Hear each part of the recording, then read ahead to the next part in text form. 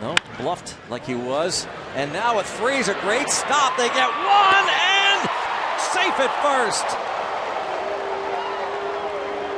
Hey, That would have been some kind kind of double play and still a great play by David Freese.